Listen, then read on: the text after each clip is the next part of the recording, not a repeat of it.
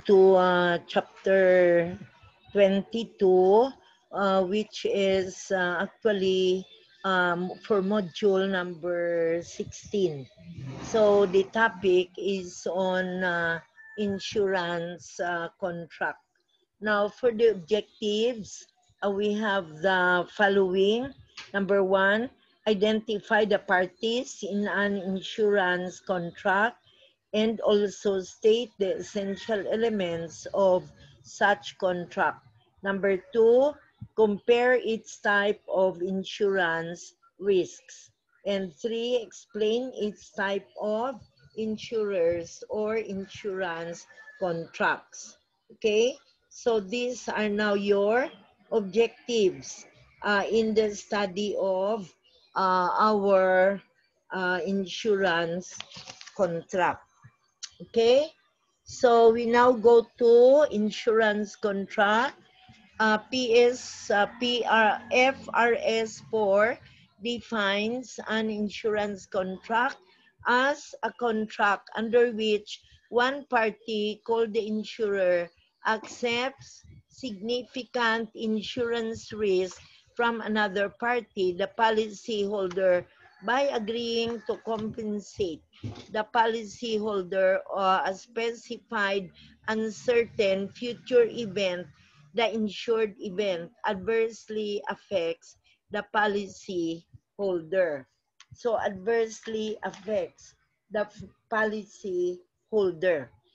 PFRS 4 provides the definitions for the following term. Insurer, the party that has an obligation under an insurance contract to compensate a policy if an insured event occurs. Policyholder, a party that has a right to compensation under an insurance contract if an insured event occurs. And insured event, an uncertain future event that is covered by an insurance contract and creates insurance risk. So these three are the very important terms that we have to remember in connection with our study of insurance contract. Okay, the definition of an insurance contract determines which contracts are within the scope of PFRS 4 rather than the other PFRS. Thus, an entity shall apply PFRS 4 to all policies it issues or holds that falls within the definition of insurance contract as provided under PFRS 4. So as provided under PFRS 4. The essential elements in the definition of an insurance contract. One, transfer of significant insurance risk. There is transfer of significant insurance risk from the insured policyholder to the insurer, the insurance provider. Number two, payment from the insured. That's the premium. Generally, the insured pays to a common fund from which losses are paid. However, not all insurance contracts have explicit premiums, such as insurance covered bundled with some credit card contracts. Three, indemnification against loss. The insurer agrees to indemnify the insured or other beneficiaries against loss or liability from specified events uh, or circumstances called an insured event that may occur or be discovered during a specified period. Then we have significant insurance risk. Risk or uncertainty is a fundamental element of an insurance contract.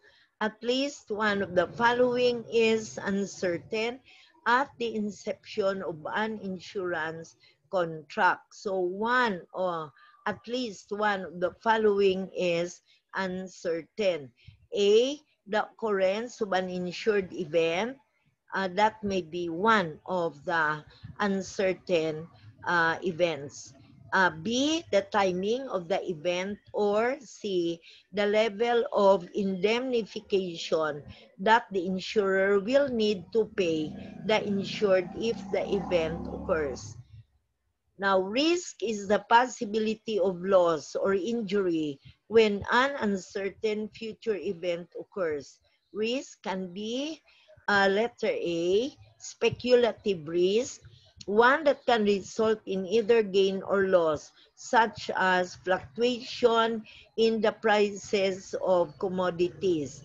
B, pure risk, one that can produce a loss only. And uh, we have an insurance risk other than financial risk transferred from the holder of a contract to the issuer. The risk must be pre-existing at the time the insurance contract was executed. A new risk created by the contract is not insurance risk. Insurance risk is significant if an insured event could cause an insurer to pay significant additional benefits in any scenario, excluding scenarios that lack commercial substance. Additional benefits refer to amounts that exceed those that would be payable if no insured event occurred. A contract that transfers only an insignificant insurance risk may not be accounted for under PFRS 4.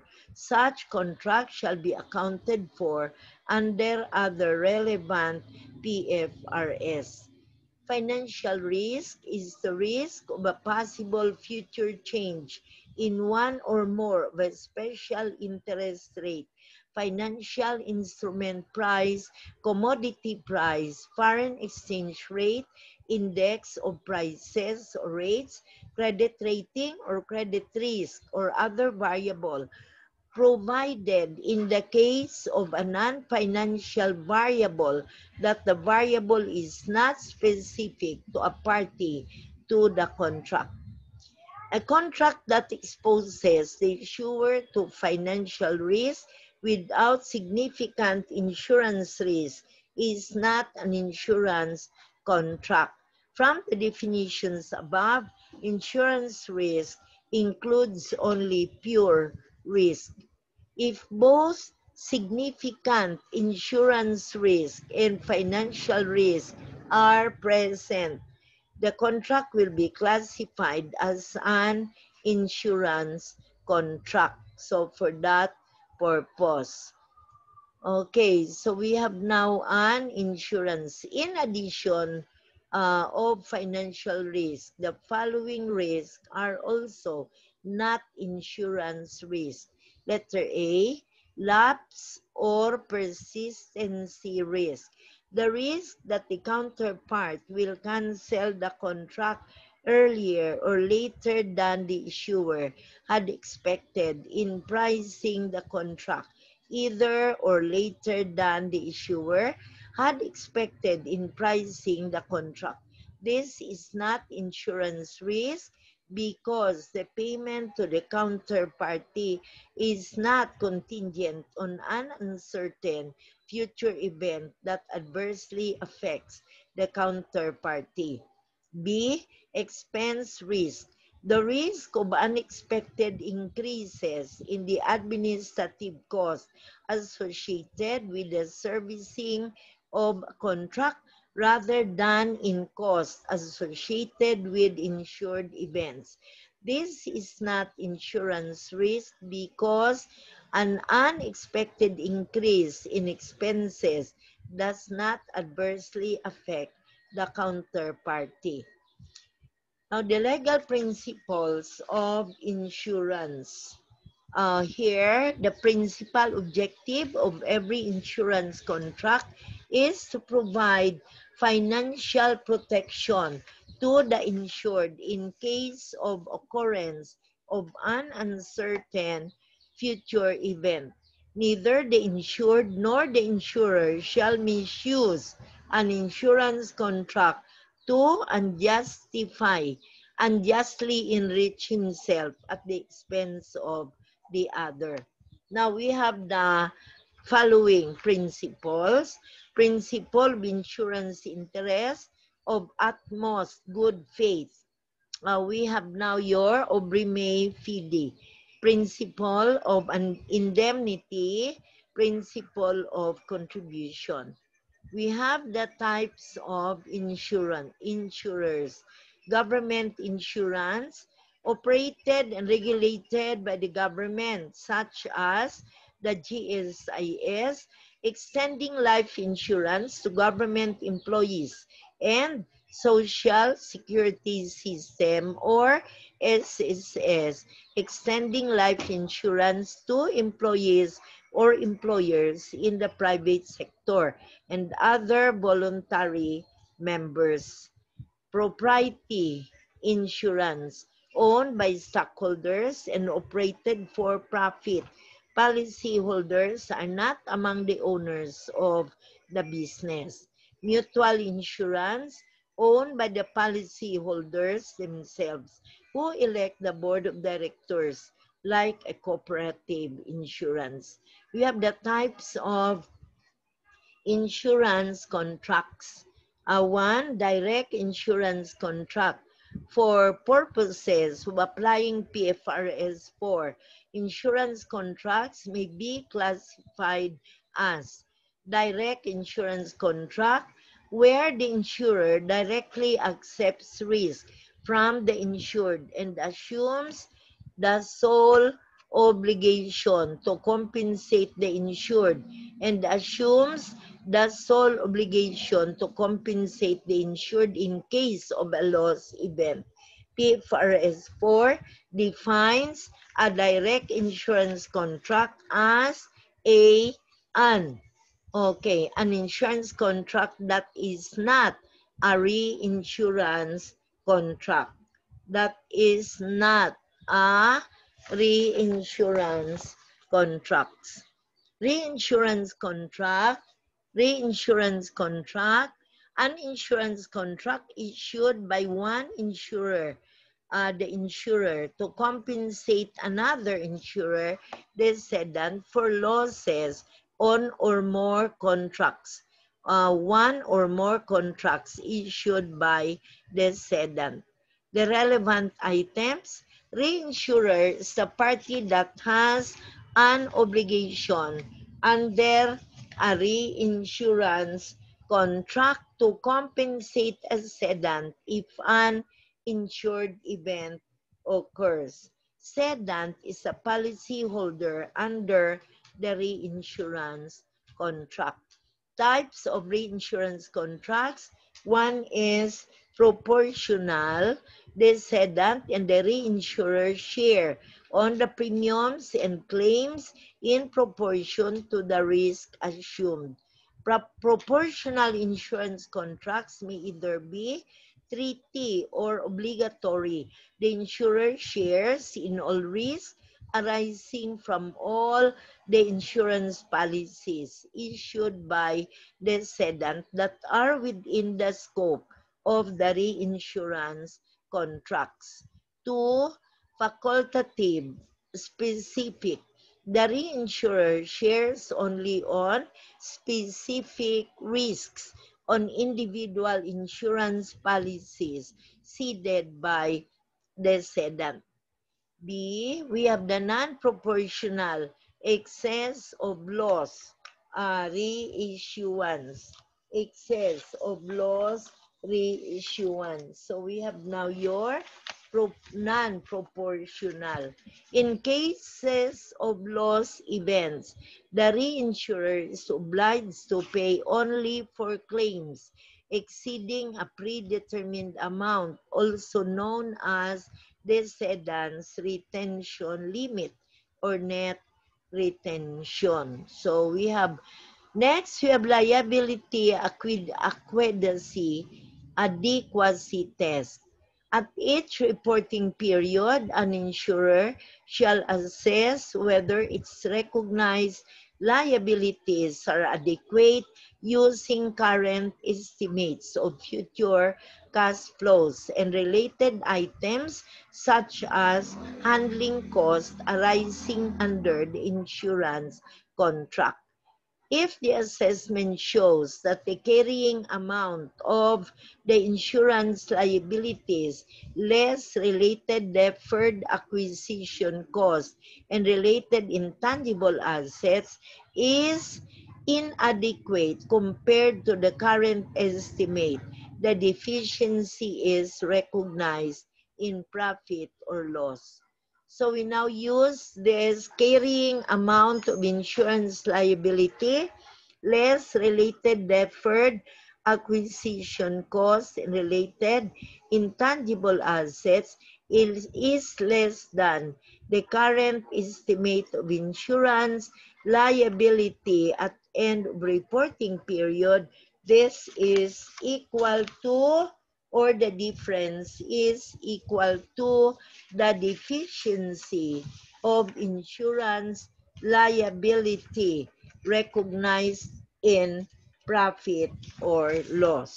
So we have this guide.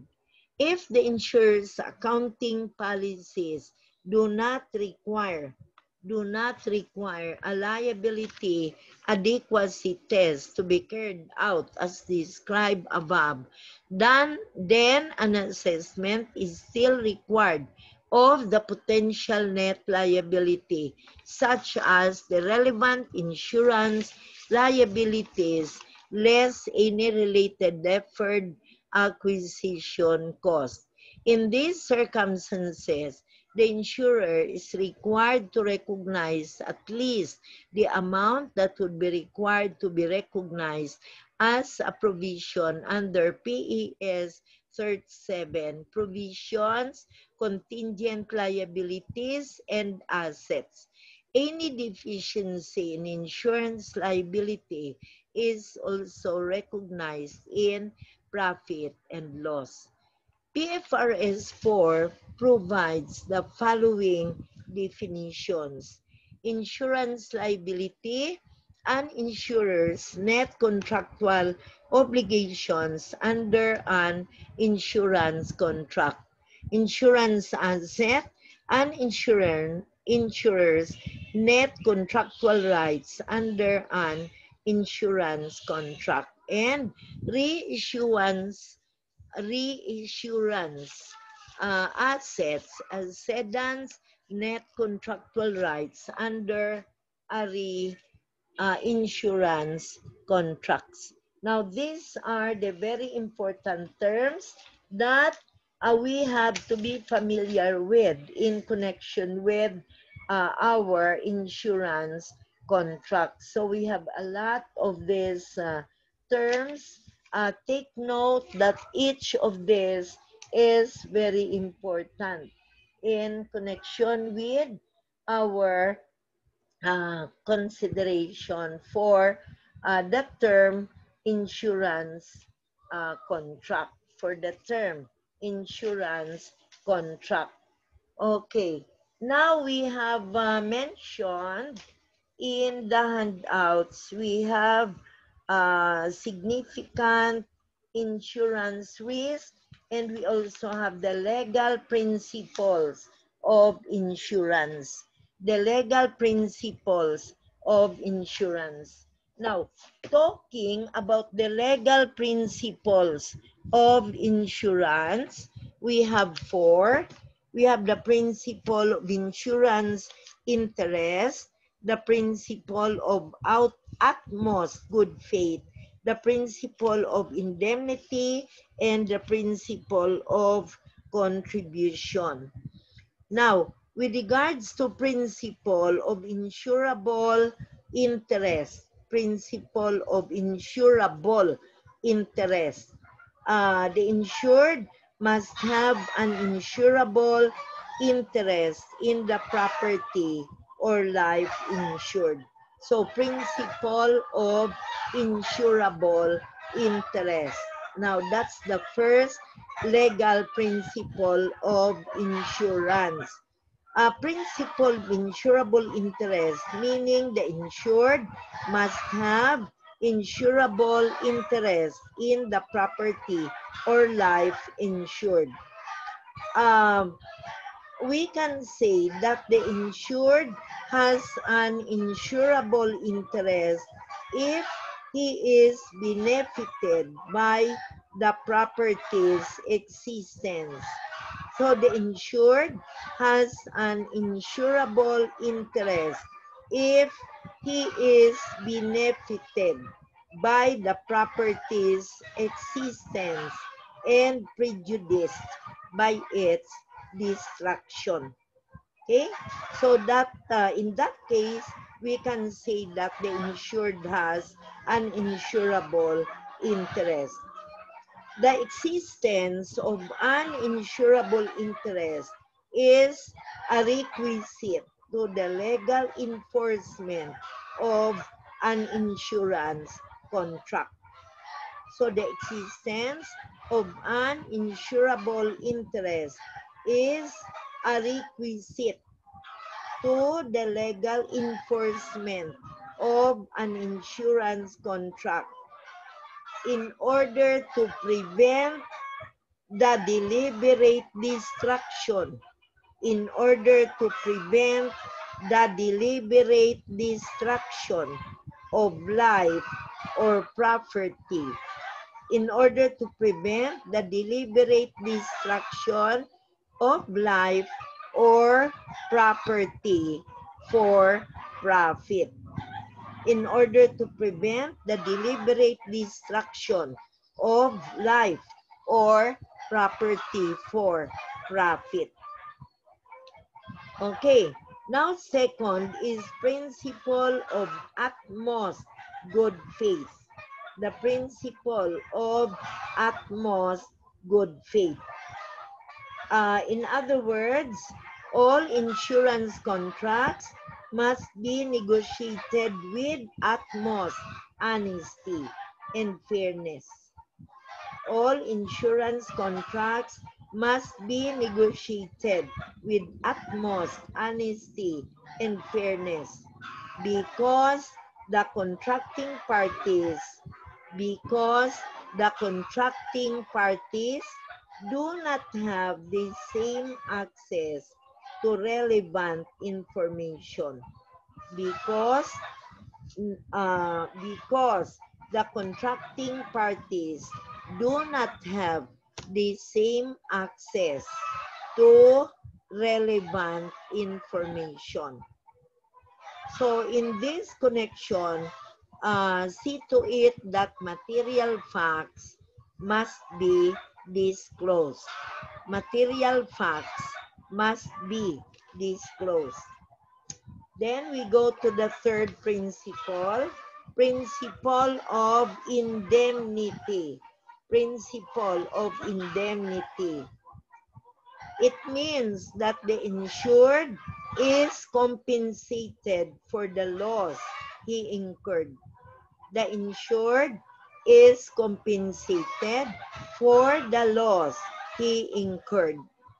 The insured is compensated for the loss he incurred and reverted back and reverted back to his previous financial condition and reverted back to his previous financial condition and reverted back to his previous financial condition before the occurrence of the loss. Before the occurrence of the loss. Okay? Before the occurrence of the loss. This does not apply to life insurance. This does not apply to life insurance. This does not apply to life insurance. Now, we have to understand that the value of human life cannot be measured in monetary terms. So, this does not apply to life insurance. As we have to understand, that the value of human life cannot be measured in monetary terms. And the last is the principle of contribution. This is a consequence of the principle of indemnity. This is a consequence of the principle of indemnity. This is a consequence of the principle of indemnity. It applies, it applies when the insured obtains insurance. It applies when the insured obtains insurance from more than one insurer. It applies when the insured obtains insurance for, from more than one insurer. It applies when the insured obtains insurance from more than one insurer. In case of loss, in case of loss, the insured can only claim compensation in case of loss. The insured can only claim compensation for the actual losses he incurred. In case of loss, the insured can only claim compensation for the actual losses he incurred from either insurer, from either insurer or both insurers, from either insurer or both insurers on a proportionate basis. From either insurer or both insurers on a proportionate basis. There is no double compensation. There is no double compensation for actual losses incurred.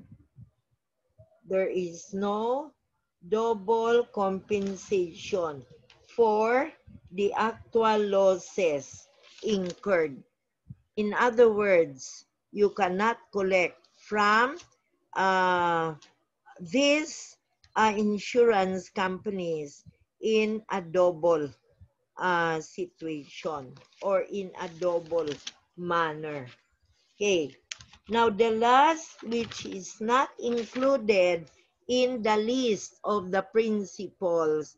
Now, will you add principle of sub subrogation? Principle of, or we still have uh, three more which are not included, principle of subrogation. So number five, to be added among the principles of insurance, we still have five, six, and seven. Number five is principle of subrogation, S-U-B, uh, R-O-G-A-T-I-O-N principle of subrogation is an extension and another consequence of the principle of indemnity. This is an extension and another consequence of the principle of indemnity. This is an extension and another consequence of the principle of indemnity. Subrogation means substituting one entity.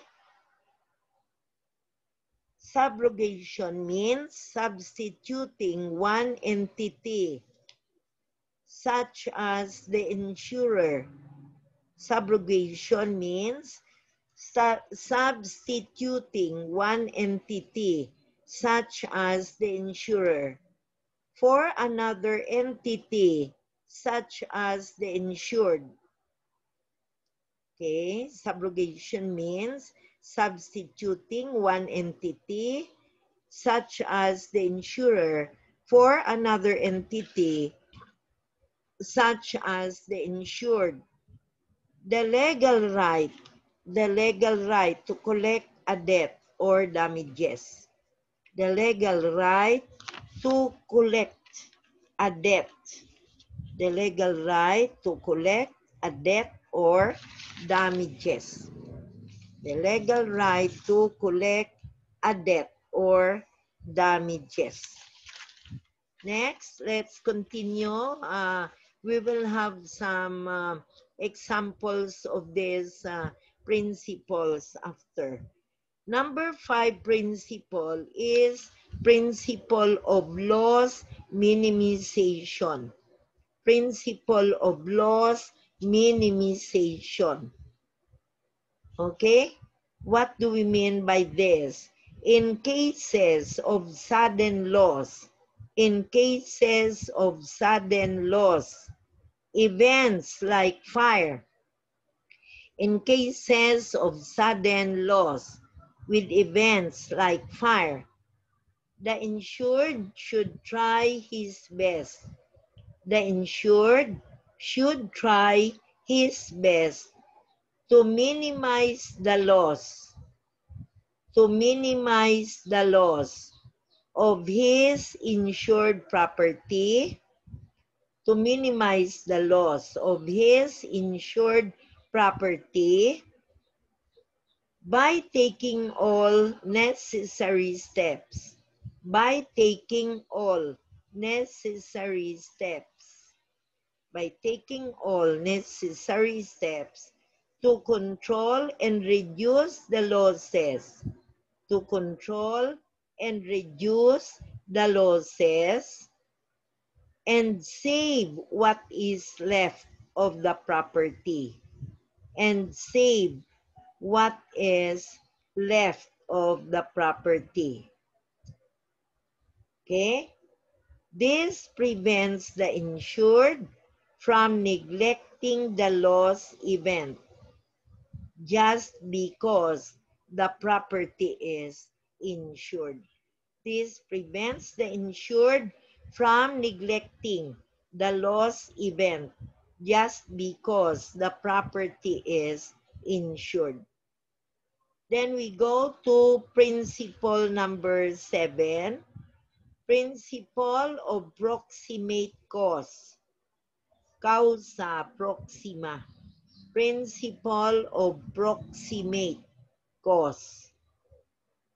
When a loss is caused by more than one event, when a loss is caused by more than one event, the closest cause, the closest cause, that's why you say proximate, the closest cause, not the furthest cause. The closest cause, not the furthest cause, is taken into consideration, is taken into consideration when determining the extent of the liability. When determining the extent of the liability. Again, this principle does not apply to life insurance. Again, this principle does not apply to life insurance. This principle does not apply to life insurance. Okay? Now, let's take up some uh, some examples on how to illustrate these different principles. We begin with example number one. John is an employee. Sample number one.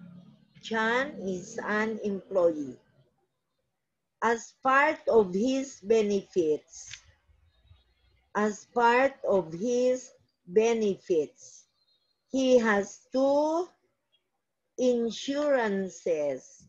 He has two insurances acquired by his employer. He has two insurances acquired by his employer from PhilHealth. He has two insurances acquired by his employer from PhilHealth and from uh, Care Insurance Company. From PhilHealth and from Care, C-A-R-E, Care Insurance Company. Uh, we have to understand that the PhilHealth is uh, a must required by the government, while the employer, at his discretion, got the care insurance company. Okay, continue. Each of these insurances, each of these insurances states clearly the types of sicknesses insured. Each of these insurances states clearly the types of sicknesses insured the accredited hospitals, the accredited hospitals, the amount of compensation, the amount of compensation, the insurances are bound to indemnify. The amount of compensation, the insurances are bound to indemnify in cases of sickness, in cases of sickness, and all other relevant information, and all other relevant information. Okay? So let's begin with the principle of insurable interest. The first principle applicable is the principle of insurable interest. The insurable interest is John's health. The insurable interest is John's, J-O-H-N, John's health. John is the insured. The insurable interest is his health. So that's the first principle. The second principle is principle of utmost good faith. The full disclosure of all material facts. The full disclosure of all material facts is an application of this principle. The full disclosure of all material facts. The full disclosure of all material facts is an application of this principle the full disclosure of all material facts is an application of this principle. Okay, continue. A year later, a year later, John had an appendectomy. A year later, John had an appendectomy involving the surgical removal involving the surgical removal of his appendix. A year later, John had an appendectomy involving the removal of his appendix. This is covered under both health insurances. This is covered under both health insurances. The accredited hospital billed John a total of 65,000 pesos. The accredited hospital billed John a total of 65,000 pesos. 20, comma, 20,000 is paid by PhilHealth. 20,000 is paid by PhilHealth and the balance by care insurance. 20,000 is paid by PhilHealth and the balance is paid by care insurance. Okay? So the bill of 65,000, 20,000 was paid by PhilHealth and 45,000 was paid by care insurance. Paid by care insurance. The principles applicable are principle of indemnity, principle of indemnity. John is indemnified only up to the extent of 65,000. John is indemnified only up to the extent of 65,000. John did not gain from this operation. John did not earn a gain from this operation. So, principle of indemnity. Another principle applicable to this is principle of contribution. Principle of contribution. Both insurers shared in indemnifying John. Both insurers shared in indemnifying John for the cost he incurred. Both insurers shared in indemnifying John for the cost he incurred. But he did not collect twice. But he did not collect twice. That's why he did not earn profit from these claims from the insurance companies. So far, we have uh, illustrated principle of insurable interest, utmost good faith, indemnity, and contribution. Okay, another problem. Continue. A year after his appendectomy, a year after his appendectomy, John decided to change career. A year after his appendectomy, John decided to change career. He opened a new business. He opened a new business that was a success. After operating for only one year. He opened a new business that was a success after operating for only one year. He opened a new business that was a success after operating for only one year. John was able to save enough money.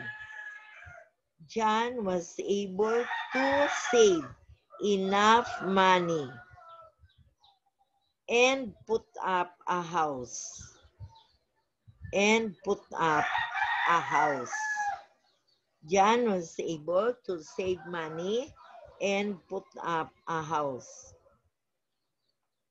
He insured his house for 2 million pesos. He insured his house for 2 million pesos. After a year, after a year, his house was totally destroyed by fire.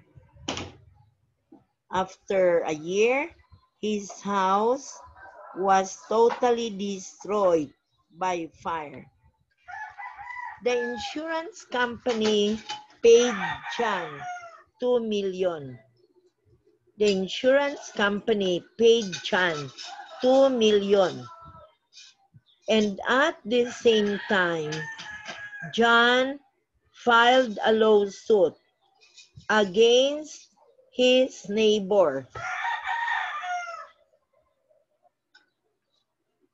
Uh, and at the same time, John filed a lawsuit against his neighbor who was responsible for the occurrence of fire and filed a lawsuit against his neighbor who was responsible for the occurrence of fire and asked payment for 2.4 million and asked payment for 2.4 million which is the fair value of the house and asked payment for 2.4 million which was the fair value of the house. Okay?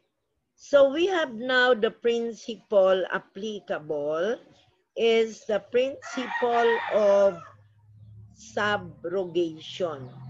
The principle of subrogation.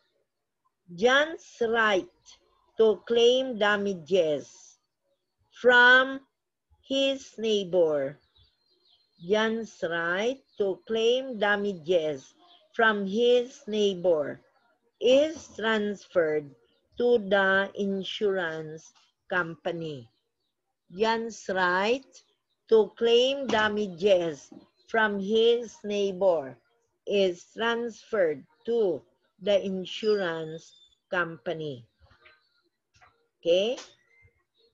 If the case filed against the neighbor will win. And the collection of 2.4 million will be made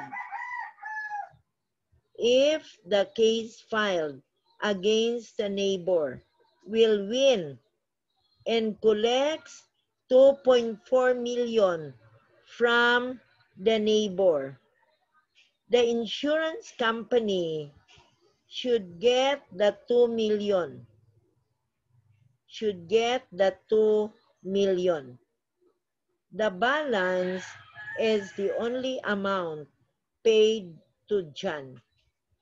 The balance is the only amount paid to John.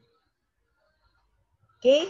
So this means that the insurer can benefit out of the subrogation rights only up to the amount paid to the insured plus other direct costs incurred. Okay, so we have now uh, example number three. An earthquake caused an electrical post to collapse. An earthquake caused an electrical post to collapse an earthquake caused an electrical post to collapse, which caused, which caused a short circuit that caused fire to a building, which caused a short circuit that caused fire to the building, to a building. That cause fire to a building. The building's fire insurance coverage. The building's fire insurance coverage. The building's fire insurance coverage does not explicitly extend to earthquakes. The building's fire insurance coverage does not explicitly extend to earthquakes. When determining the extent of the insurer's liability, the closest cause to the destruction of the building, which is fire, which the closest cause to the destruction of the building, which is the fire, must be taken into consideration. Must be taken into consideration. So we have the principle of proximate cause. Principle of proximate cause. Okay? So these are the different principles applicable uh, to insurance contracts. And we have the types of insurance contracts, namely treaty and facultative for the proportional and non-proportional types of reinsurance contracts. For the types of insurance contracts, we have direct and reinsurance, reinsurance contract.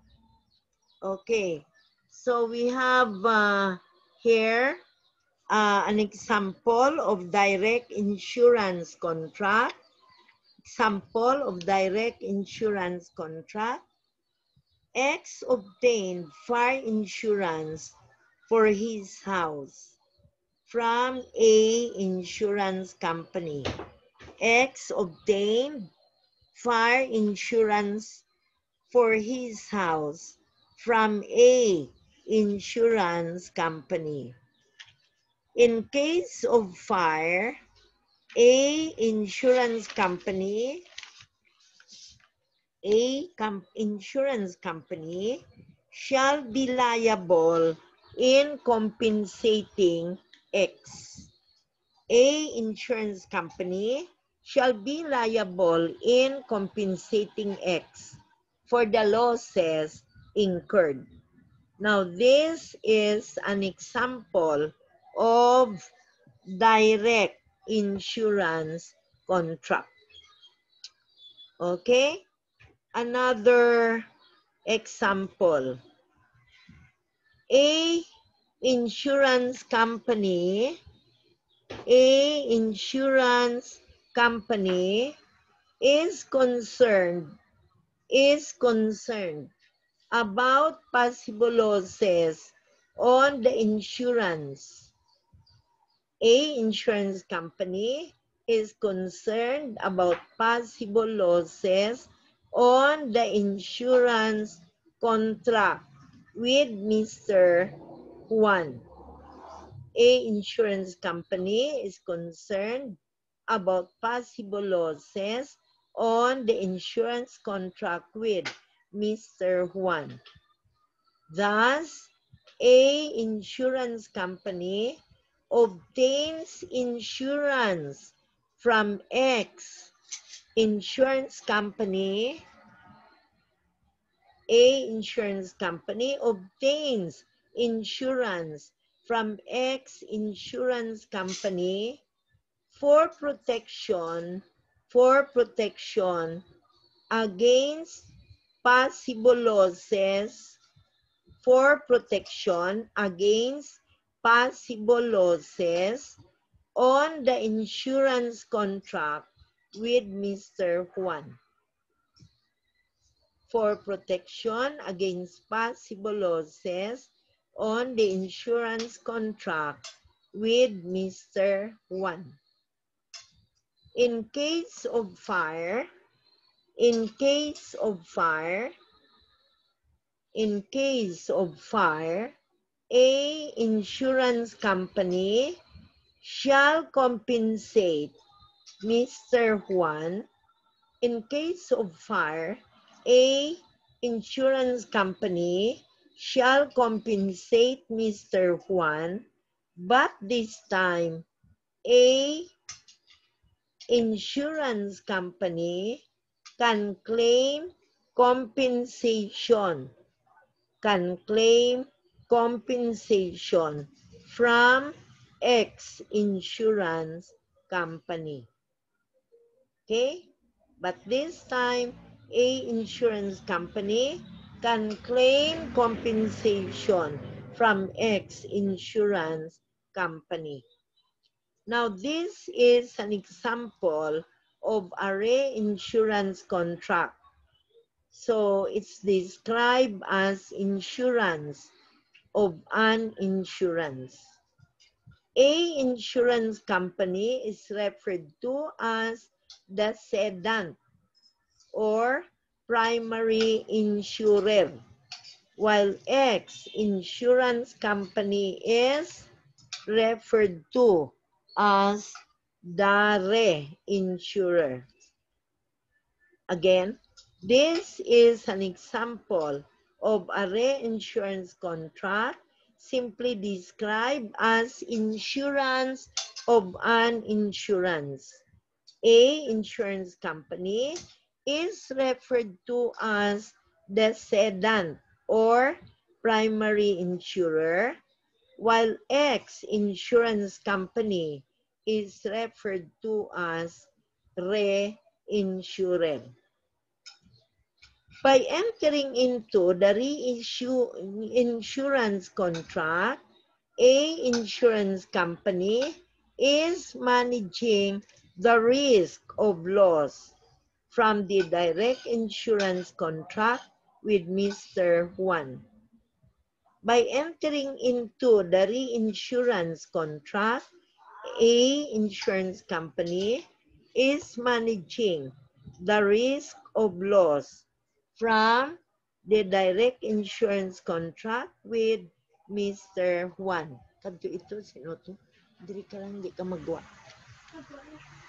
Assuming that only 40% of the risk, assuming that only 40% of the risk accepted from Mr. Juan is ceded to X insurance company.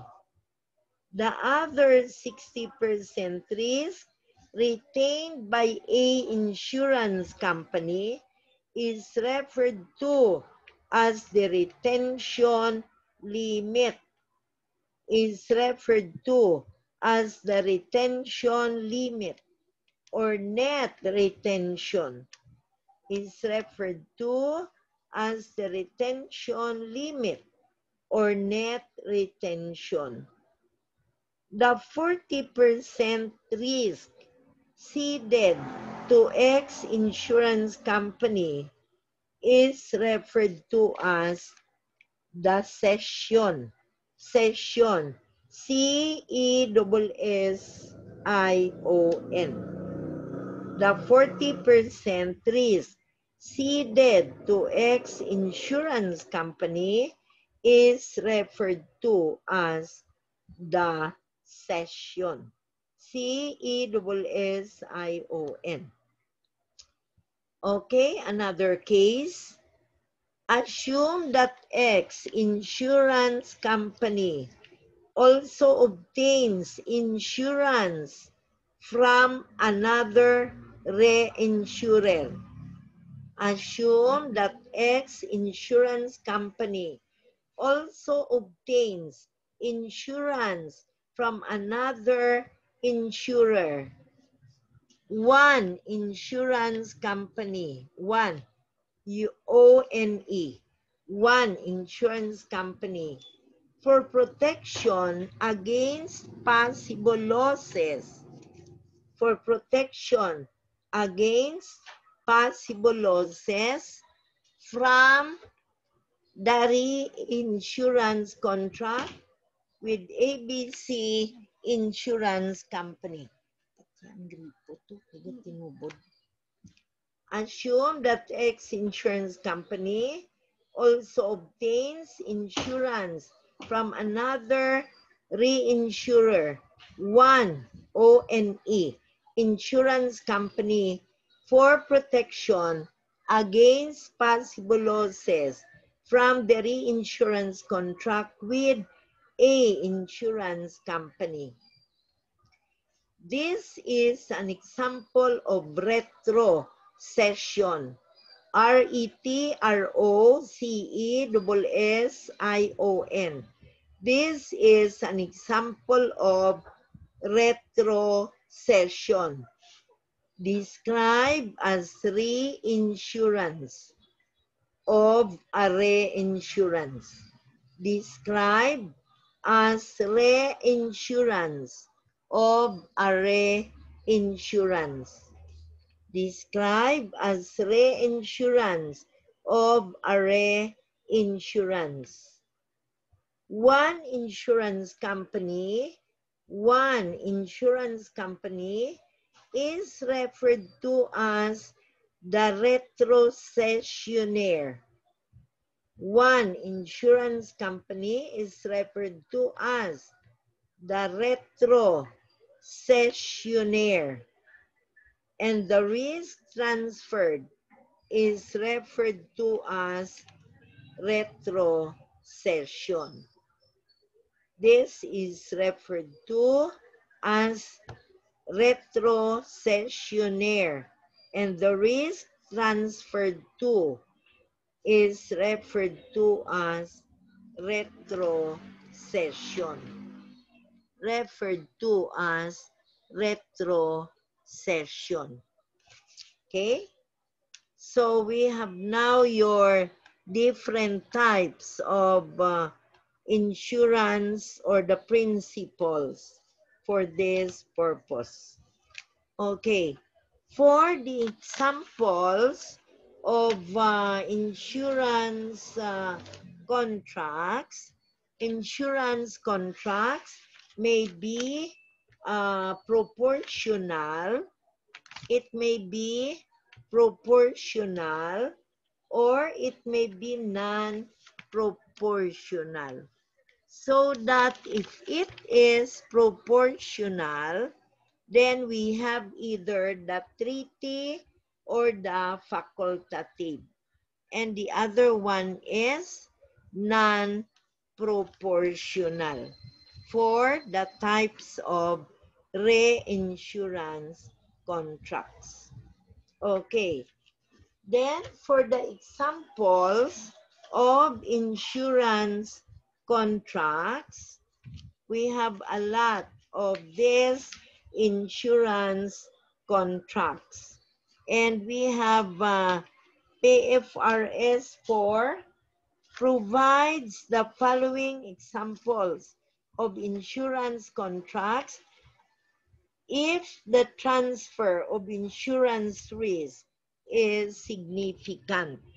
So the types of insurance contracts, if the transfer of insurance risk is significant. A, Insurance against theft or damage to property. Insurance against theft or damage to property. B. Insurance against product liability, professional liability, civil liability, or legal expenses. So insurance against product, professional, or civil liabilities. C. Life insurance and prepaid funeral plans. Life insurance and prepaid funeral plans. D. Life contingent annuities and pensions. Life contingent annuities and pensions. E disability and medical coverage. Disability and medical coverage. F, surety bonds, fidelity bonds, performance bonds, and bid bonds, bid, B-I-D. F, surety bonds, fidelity bonds, performance bonds, and bid bonds. Contracts that provide compensation if another entity fails to perform a contractual obligation. So, uh, the meaning of these types, uh, contracts which provide compensation if another party fails to perform a contractual obligation. For example, an obligation by one party to construct a building, but that party failed. So, for example, an obligation of one party to construct a building, and that obligation failed. So, you have to ask payment from the insurer. G, credit insurance. Credit insurance. This uh, meet the definition of a financial guarantee contract. Credit insurance contracts meet the definition of a financial guarantee contract, which is within the scope of PFRS 9, which is within the scope of PFRS 9 and PAS 2. PFRS 9 and PAS 32. PFRS 9 and PAS 32. These contracts may only be accounted for. These contracts may only be accounted for under PFRS 4. These contracts may only be accounted for under PFRS 4 if the issuer if the issuer has previously asserted if the issuer has previously asserted if the issuer has previously asserted explicitly asserted explicitly that it regards that it regards such contracts that it regards such contracts as insurance contracts as insurance contracts and has used accounting applicable to insurance contract and has used accounting applicable to insurance contracts and has used accounting applicable to insurance contracts. PFRS 4, PFRS 4 defines a financial guarantee contract. PFRS 4 defines a financial guarantee contract as one that requires the issuer. PFRS 4 defines a financial guarantee contract as one that requires the issuer requires the issuer to make specified payments, requires the issuer to make specified payments, to reimburse the holder for a loss it incurs, to reimburse the holder for a loss. To reimburse the holder for a loss it incurs because a specified debtor because a specified debtor fails to make payment because a specified debtor fails to make payment. When due specified debtor fails to make payment when due in accordance with the original when due in accordance with the original or modified terms in accordance with the original or modified terms of a debt instrument of a debt instrument. So we have your letter G, credit insurance. Then we go to letter H, we have product warranties. Product warranties issued by another party for goods sold by a manufacturer, dealer, or retailer.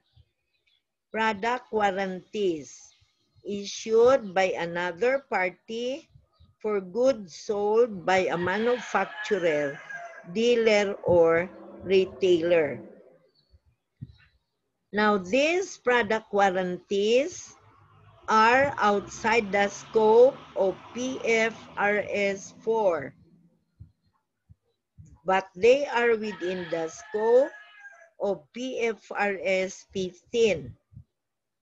So these product warranties are outside the scope of PFRS 4, but they are within the scope of PFRS 15 and PAS 37 and PAS 37. Then we go to letter I, title insurance. Title insurance. So we have the insurance against defects in title to land. Uh, we have the insurance against defects in title, in title to land that were not apparent, that were not apparent when the insurance contract was written, that were not apparent when the insurance contract was written. The insured event is the discovery of a defect in the title the insured event is the discovery of a defect in the title. The insured event is the discovery of a defect in the title, not the defect itself.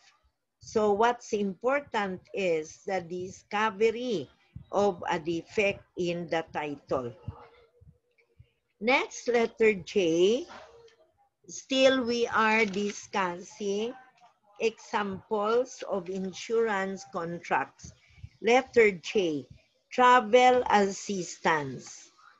Travel assistance. For losses uh, suffered while the insured is traveling. Travel assistance for losses suffered while the insured is traveling. Next, letter K, catastrophe bonds. Catastrophe. C-A-T-A-S-T-R-O-P-H-E.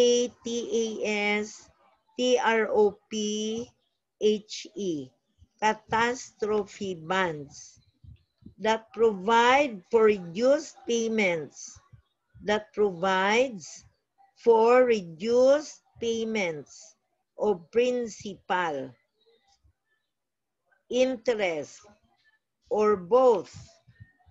So catastrophe bonds that provide for reduced payments of principal and interest or both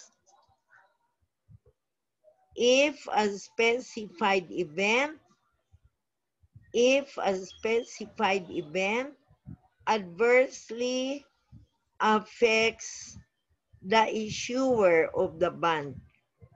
If a specified event adversely affects the issuer of the bonds. If a specified event adversely affects the issuer of the bonds. Unless the specified event, unless the specified event does not create significant insurance risk unless the specified event does not create significant insurance risk. Uh, for example, if the event is just a change in the interest rate or the foreign exchange rate. So it does not create significant insurance risk. Then letter L, insurance swap. Insurance swap is WAP and other contracts that require a payment, insurance swaps and other contracts that require a payment based on changes that requires a payment based on changes in climatic, climatic, geological, or other physical variables climatic, geological, and other physical variables that are specific to a party to the contract. That are specific to a party to the contract. And letter M is reinsurance contracts. Reinsurance contracts. Okay, PFRS 4 provides the following examples of items that are not insurance contracts. The following are examples of items that are not insurance contracts. Not insurance contracts. So letter A is not an insurance contract. Investment contracts that have the legal form of an insurance contract but do not expose the insurer to significant insurance risk.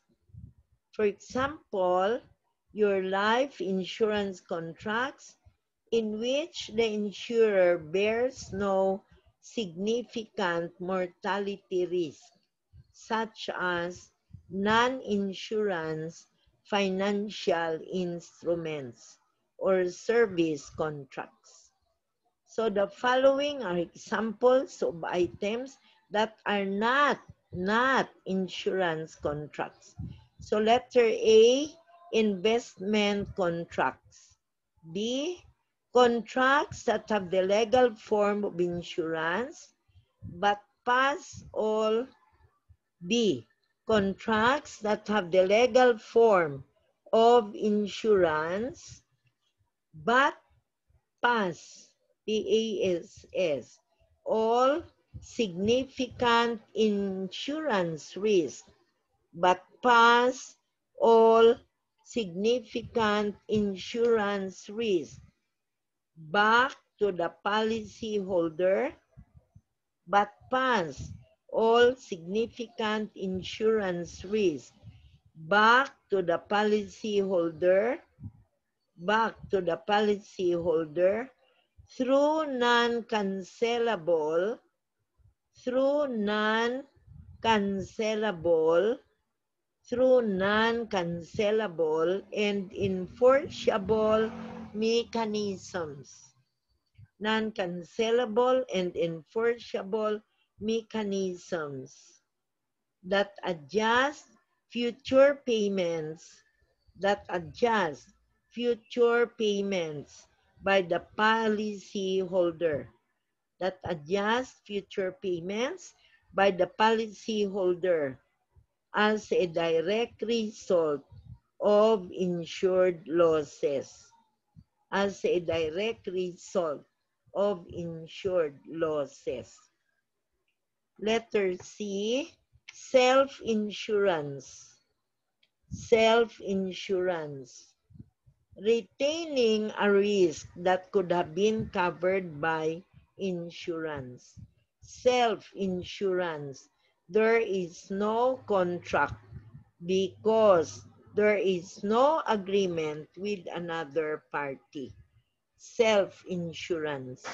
Letter D, contracts that require payment if an uncertain event occurs but do not require as a contractual precondition for payment that the event adversely affects the policy holder.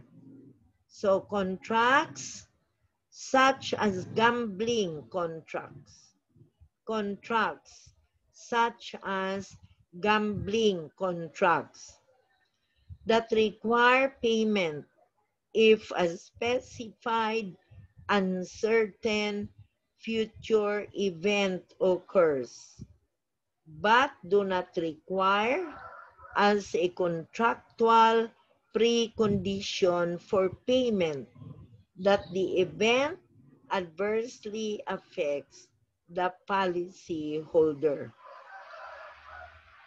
Letter E, derivatives that exposes one party to financial risk but not insurance risk because they require that party to make payment based solely on changes in one or more of a specified interest rate, financial instrument price, commodity price, foreign exchange rate, index of prices, or rates, credit rating or credit index, or other variables, provided in the case of a non financial variable that the variable is not as specific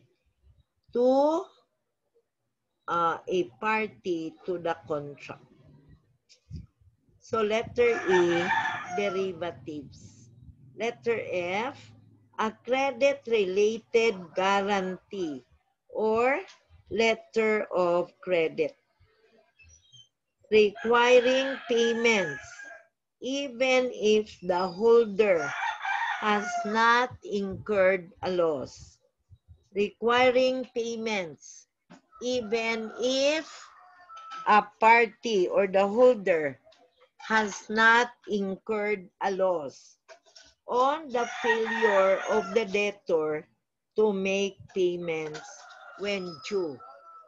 If on the failure of the debtor to make payments when due. Next, letter G, contracts that require a payment based on climatic, geological, or other physical variable that is not specific to a party to the contract. Usually, these are described as weather derivatives. Weather. W-E-A-T-H-E-R. Weather derivatives. Letter H, catastrophe bonds that provide for reduced payments of principal, interest, or both based on climatic, geological, or other physical variable that is not specific to a party to the contract. Now take note that under uh, types of insurance contracts, we also have this here uh, under PFRS 4 stating that the following are not insurance contracts. Now take note of the differences. Okay, so we have now the types of insurance contracts, the examples, and the examples of transactions that are not considered as insurance contracts. For recognition and measurement, insurance companies are temporarily permitted under PFRS 4 pending the finalization of the phase 2 of IASB's project to continue developing their own accounting policies or continue using their existing accounting policies for insurance contracts without regards to the requirements of PAS 8 accounting policies, changes in accounting estimates, and errors such as hierarchy of reporting standards and the conceptual framework. However, PFRS 4 expressly, letter A, prohibits provisions for possible claims under contracts that are not in existence at the reporting date, referred to as catastrophe or equalization provisions. B, requires a test for the inadequacy of recognized insurance liabilities, referred to as liability adequacy test. C, requires the retention of insurance liability in the statement of financial position until the obligation is distinguished, such as discharged or canceled or expires. Letter D prohibits the offsetting of reinsurance assets against the related insurance liabilities or income or expense from reinsurance contracts against the expense or income from the related insurance contracts. And letter E requires an impairment test for reinsurance assets impairment loss is recognized when after the initial recognition of an insurance asset, an event has occurred that leads to amounts due under the contract not being recoverable in full and a reliable estimate of the loss can be assessed.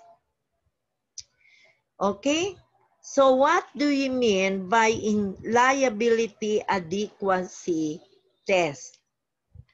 Uh, this means that at each reporting period, an insurer shall assess whether its recognized liabilities are adequate using current estimates of future cash flows and related items such as handling costs arising under the insurance contracts.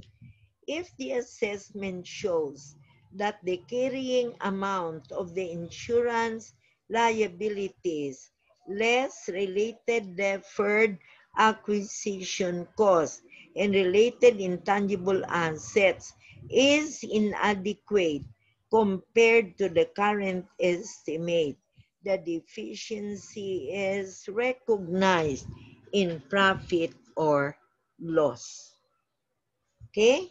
So we have now this uh, very important uh, uh, issues, uh, terms that we have to consider in connection with our insurance contracts. So we have now your uh, uh, changes in accounting policies. An insurer is permitted under PFRS 4 to change its accounting policies for insurance contracts if the change results to more relevant and no less reliable or more reliable and no less relevant financial information. The general principles in PAS 8 shall be applied in judging relevance and reliability of financial information, but full compliance with the criteria in PAS 8 is not required. Now we have the specific issues, examples for changes in accounting policies. So letter A, current interest rates. Okay? Then uh, B, continuation of existing practices. Uh, C, prudence. An insurer is not required to change its accounting policies for insurance contracts to eliminate future investment uh, for this, uh, to eliminate excessive prudence. However, insurer that uses sufficient prudence is not required to introduce additional prudence. Then letter D, future investment margins. And letter E, shadow accounting means that unrealized gains or losses on assets which are recognized in other comprehensive income are reflected in the measurement of the insurance liabilities or deferred acquisition cost or intangible assets in the same way as realized gains or losses. The related adjustment to the insurance liability or deferred acquisition cost or intangible assets shall be recognized in other comprehensive income if the unrealized gains or losses are also recognized in other comprehensive income. Okay, so we have now uh, very important terms in connection with PFRS 4 we have to understand the meaning of discretionary participation feature, a contractual right to receive as some supplement to guaranteed benefits, additional benefits. And second, guaranteed element, an obligation to pay guaranteed benefits included in a contract that contains a discretionary participation feature. And the last is guaranteed benefits. Payments or other benefits to which a particular policyholder or investor has an unconditional right that is not subject to the contractual discretion of the issuer. So these are now the uh, additional definitions. Uh, likewise, we have to understand the meaning of deposit component. a contractual component that is not accounted for as a derivative under PFRS 9 and would be within the scope of PFRS 9 if it were a separate instrument. So that's the deposit component. Unbundle. Unbundle. Spelling U-N B-U-N-D-L-E, unbundle. Account for the components of a contract as if they were separate contracts. Unbundle. Uh, unbundling, unbundling is required when both the following conditions are met. So you are required uh, for unbundling. A, the deposit component can be measured separately. The deposit component can be measured separately without considering the insurance component. And B, the insurer's accounting policies does not require it to recognize all obligations and rights arising from the deposit component. Unbundling is permitted but not required when the insurer can measure the deposit component separately from the insurance contract, but its accounting policies require it to recognize the deposit component. Unbundling is permitted but not required when the insurer can measure the deposit component separately from the insurance contract, but its accounting policies require it to recognize the deposit component. Unbundling is prohibited if an insurer cannot measure the deposit component separately. So unbundling is prohibited if an insurer cannot measure the deposit component separately. When a contract is unbundled, the insurer shall apply PFRS 4 to the insurance component and PFRS 9 to the deposit component. When a contract is unbundled, the insurer shall apply PFRS 4 to the insurance component and PFRS 9 to the deposit component. Okay, so we have now the so many, many terms and so many definitions for uh, insurance contracts and uh, the rest of this. Okay. Uh, we have to classify our insurance into non-life. So we have non-life, no? And life. So for non-life, uh, non-life, damo ni, non-life include marine insurance, fire insurance, casualty insurance, motor insurance, motor insurance. Uh, we have uh, motor insurance is included under casualty insurance.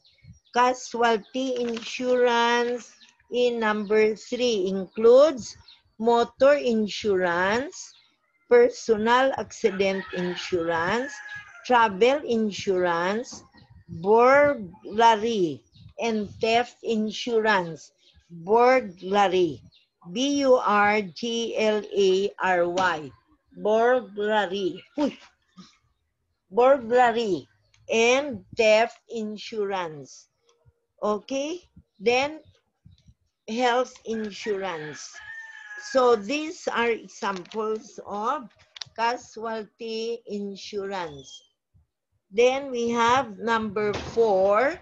Number four, surety insurance. Surety insurance. These are your examples of the non-life insurance. And of course, we have the life insurance. What are the types of life insurance? Term life insurance. Term, T-E-R-M. Term life insurance. Second, permanent life insurance. Permanent life insurance.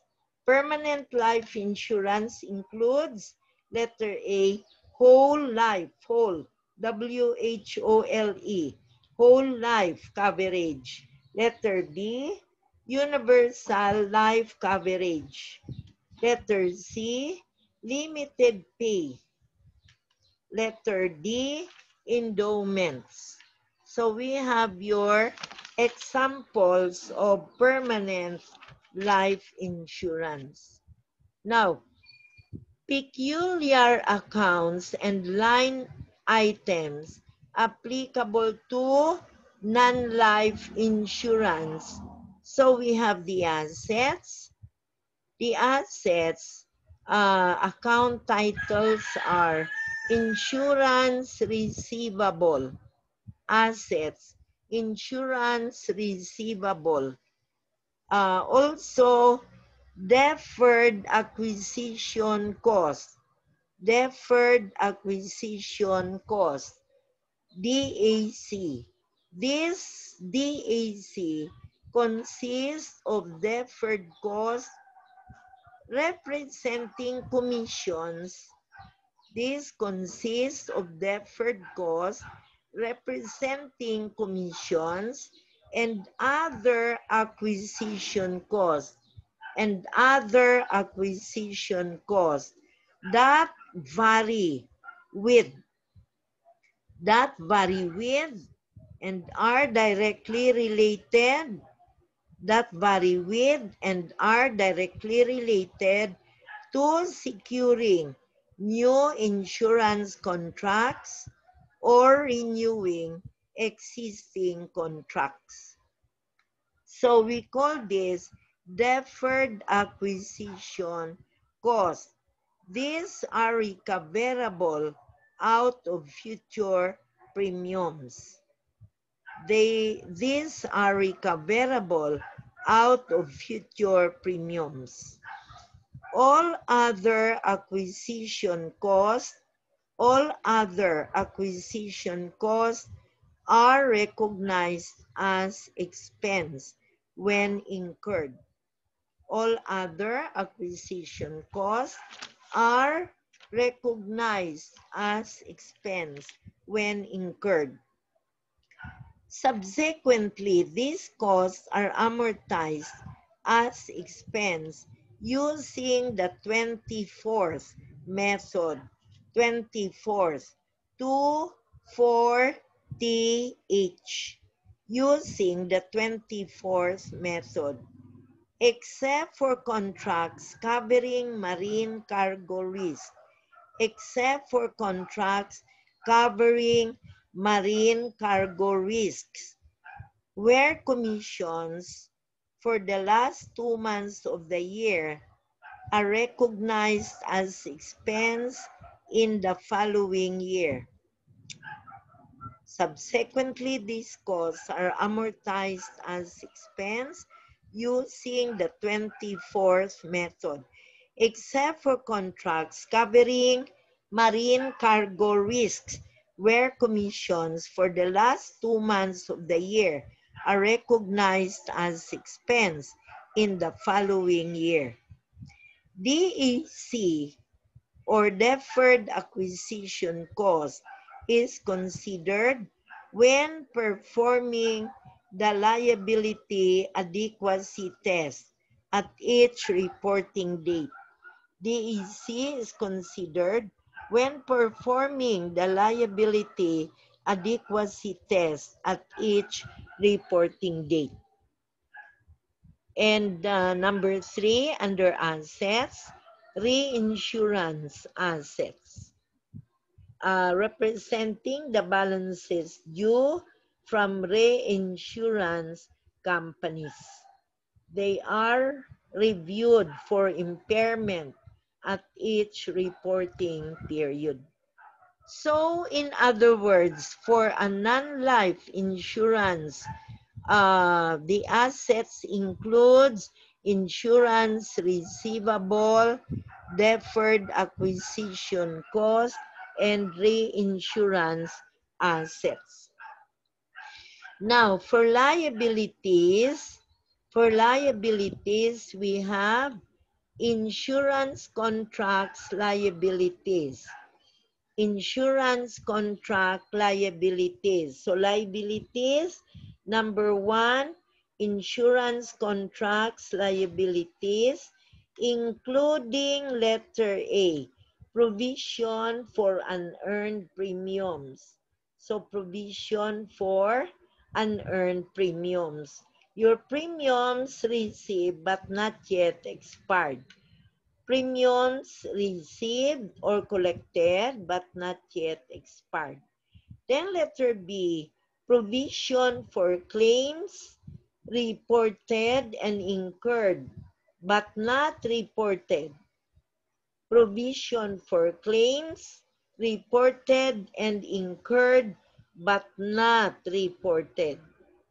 Representing unpaid claims and related adjustment expenses arising from the occurrence of insured events, whether or not these claims have been reported to the insurer. These provisions are based on the estimated ultimate cost of settling the claims. These do not include possible claims. These do not include possible claims for insured events that have not yet occurred. These provisions do not include possible claims for insured events that have not yet occurred as of the reporting date referred to as catastrophe or equalization provisions. Still included among the contract liabilities, letter C, provision for premium deficiency, representing additional liability for the deficiency in insurance contract liabilities arising from the performance of the liability adequacy test. Okay, still among the liability accounts is insurance payable. Insurance payable. Letter A, uh, under insurance payable, letter A, due to reinsurers due to reinsurers representing premiums payable to reinsurers resulting from contracts ceded to them. So due to reinsurers. And letter B, funds held for reinsurers. Funds held for reinsurers representing the portion of reinsurance premiums withheld by ceding companies in accordance with treaty agreements. Then, still included under liabilities, deferred reinsurance commissions. Deferred reinsurance commissions pertains to the unexpired portion of commissions from reinsurance contracts. These are recognized in profit or loss on the same basis as related acquisition costs are recognized in profit or loss. So those are the three liability accounts in connection with insurance contracts. Then we go to revenue accounts. revenue accounts includes gross premiums. The total premiums receivable over the duration of insurance contracts written during the period. So consists of the total premiums receivable over the duration of insurance contracts written during the period, including adjustments made during the reporting period, including adjustments made during the reporting period relating to contracts written in prior reporting periods.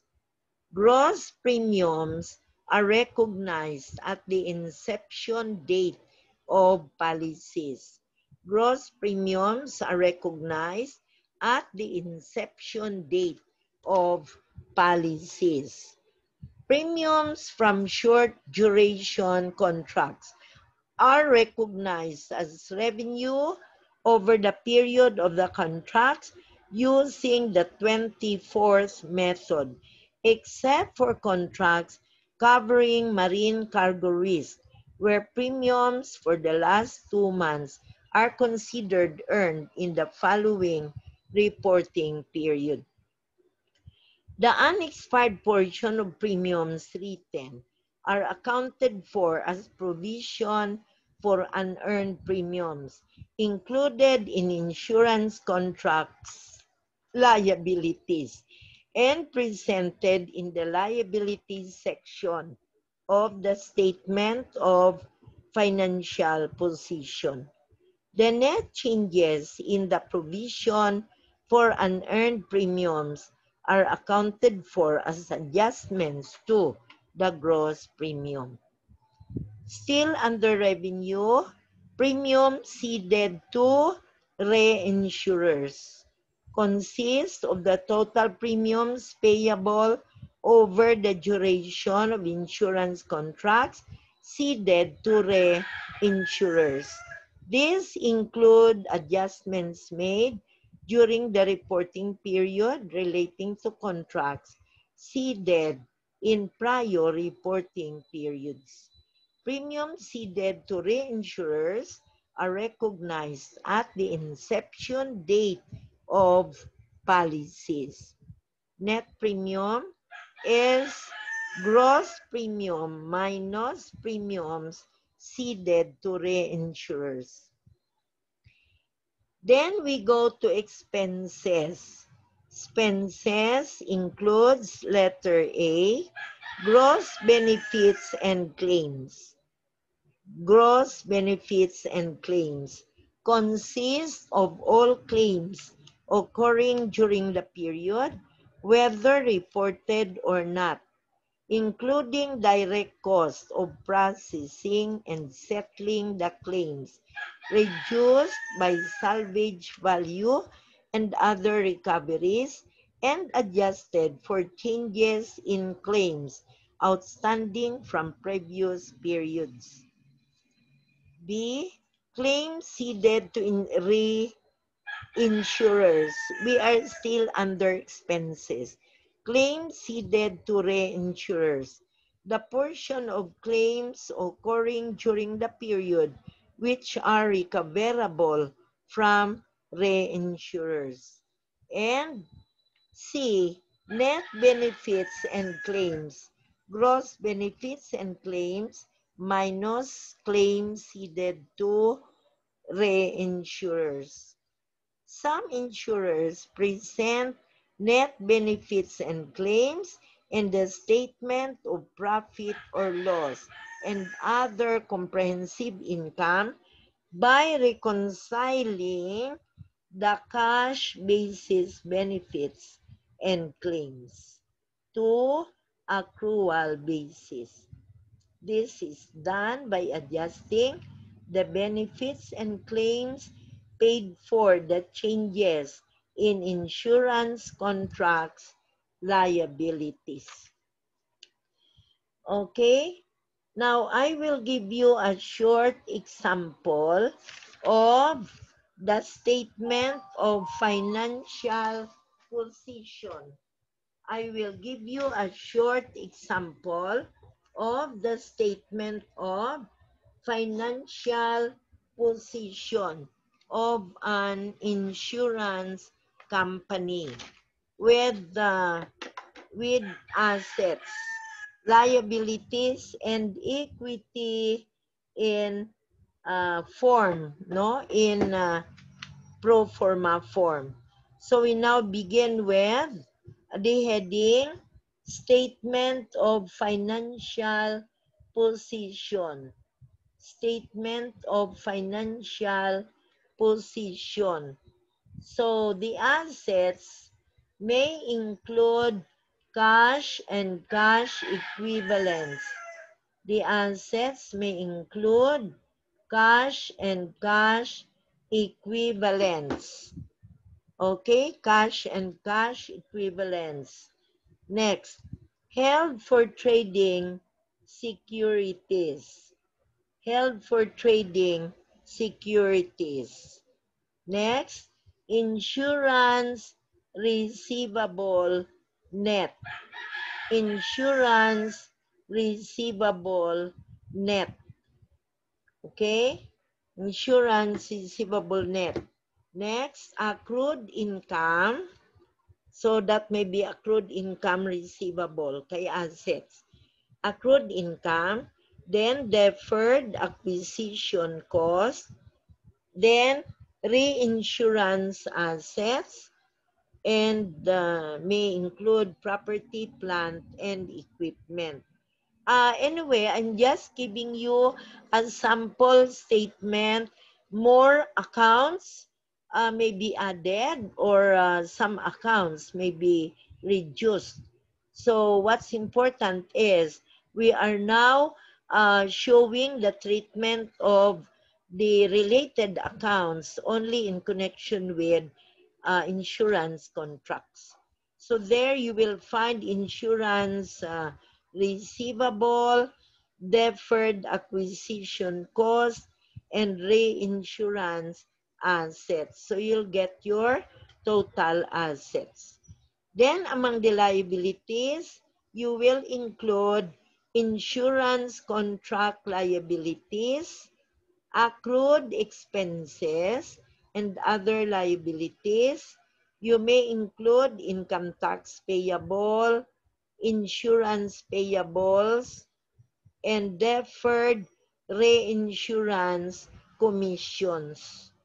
So there you will find insurance contract liabilities, uh, insurance payables, deferred reinsurance commissions. And of course, for the equity section, you'll have your share capital, retained earnings, your uh, your uh, APIC, just like an ordinary equity section. Okay, now for a sample uh, statement of profit or loss. Again, in uh, pro forma form. So your heading, uh, name of the company, statement of profit or loss, and other comprehensive income uh, as of the year ended. So name of the company, statement of profit or loss, and other comprehensive income for the year ended. So you have now your, uh, of course, if you have notes, notes to the figures, then you can just provide notes column. Gross premiums, gross premiums, then you may provide note number one gross premiums, then provide note number one, then you extend the amount of the gross premiums. Premiums ceded to reinsurers. Note number one again, uh, deduct premiums ceded to reinsurers. So gross premiums, less premiums ceded to reinsurers, the difference is net premiums difference is net premiums.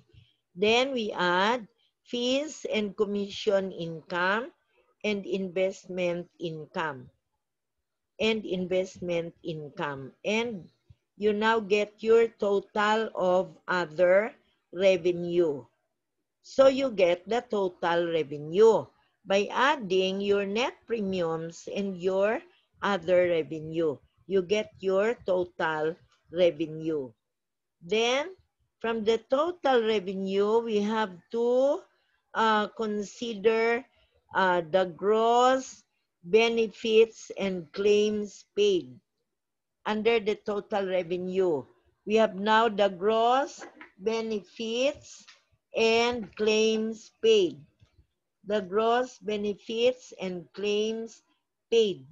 Then we have claims ceded to reinsurers. Uh, by the way, gross benefits and claims paid negative.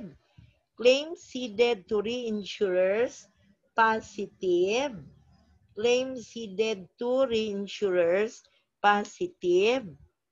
Then you have your gross change in contract liabilities negative. Gross change in contract liabilities negative. and change in contract liabilities ceded to reinsurers positive.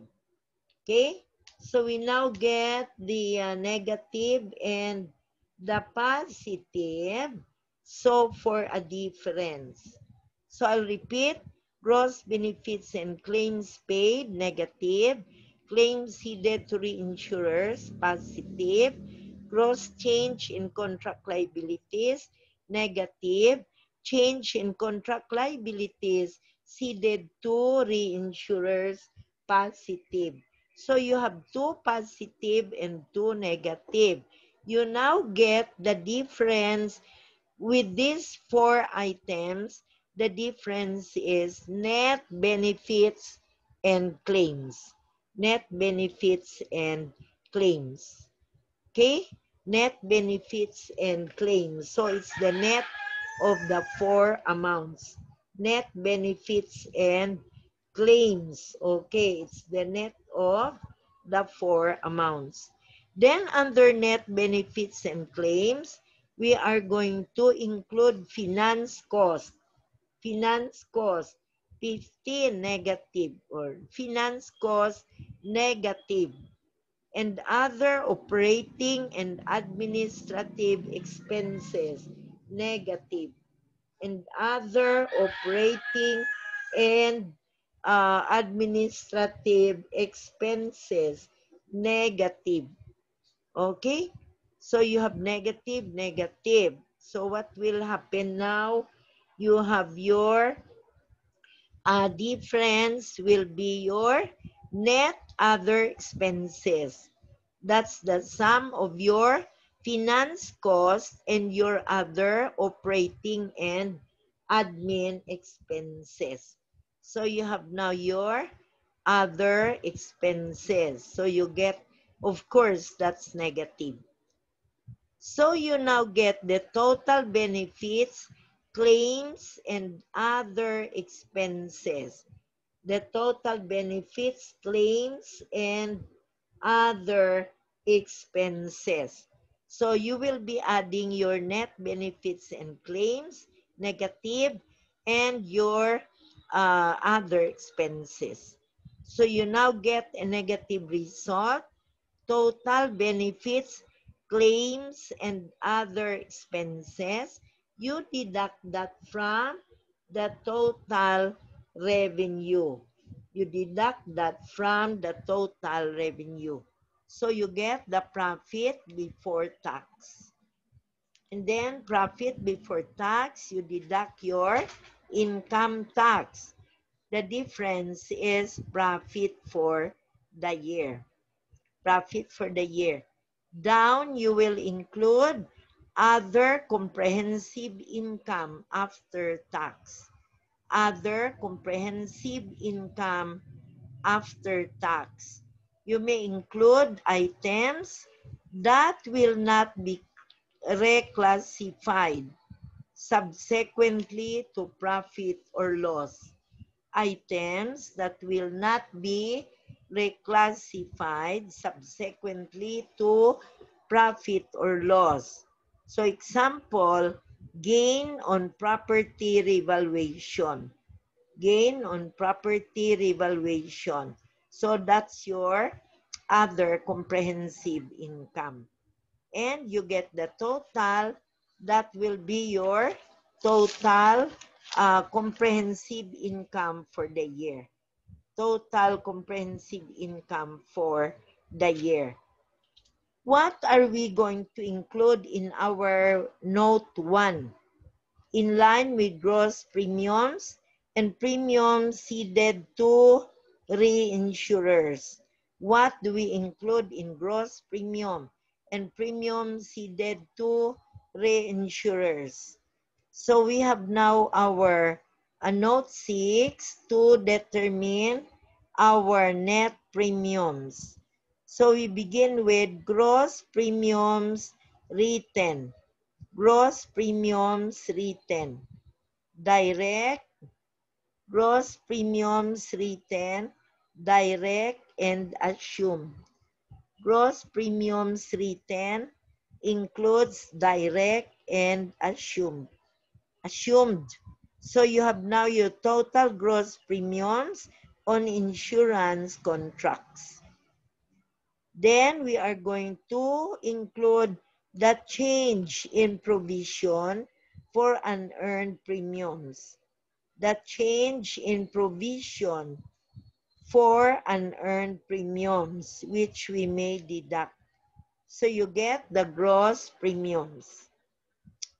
Okay, that will be extended with gross premiums, line 1, note 1. Note Okay, note one. Then for premium ceded to reinsurers, we have negative. Premium ceded to reinsurers. Then the change in provision for unearned premiums. Positive. So negative and positive, we have the premiums ceded to reinsurers. You now get your net premiums. Okay? So, what are included in direct premiums? Uh, in our gross premium computation, we have direct premiums, premiums received or receivable directly from brokers, agents, or insured individuals before deducting premiums paid or payable to reinsurers. Assumed premiums, premiums received or receivable from other insurance companies for reinsurance contracts written. And finally, premiums ceded to reinsurers, direct and assumed premiums paid or payable to reinsurers for reinsurance contracts obtained.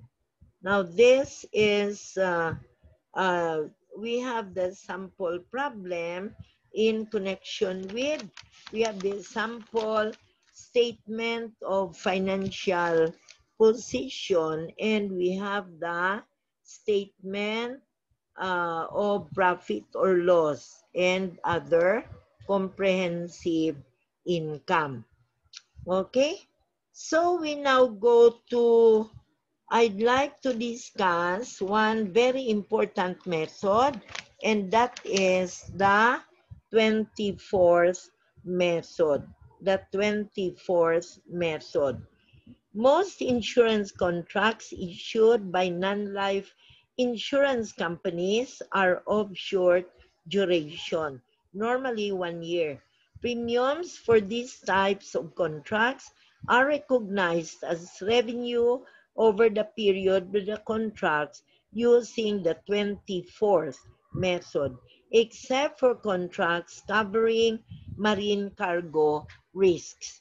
The unexpired portion of premiums written are accounted for as provision for unearned premiums included in insurance contracts liabilities and presented in the liability section of the Statement of Financial Position. The net changes in the provision for unearned premiums are accounted for as adjustments to the gross premium recognized in profit or loss for the period. The 24th method assumes that the average rate of issue of all policies written during any month is the middle of that month. So the average date of issue of all policies is the middle of that month. Now, we will have one illustrative problem with regards to the 24th method. Uh, and then uh, after that, um, we have to take up the multiple choice problems and questions in uh, theory in chapter 22. However, what I will be doing is to post this solution in the canvas. So you can see the solutions to chapter 22, a multiple choice problems and theory of Dayan. Okay, so just refer to the canvas. So for the meantime, let's have the illustrative problem. Uh, for on January 1, 20x1, a insurance company issued a one-year fire insurance contract for a total premium of 12,000. So on January 1, 20X1, a insurance company issues a one-year fire insurance contract for a total premium of 12,000.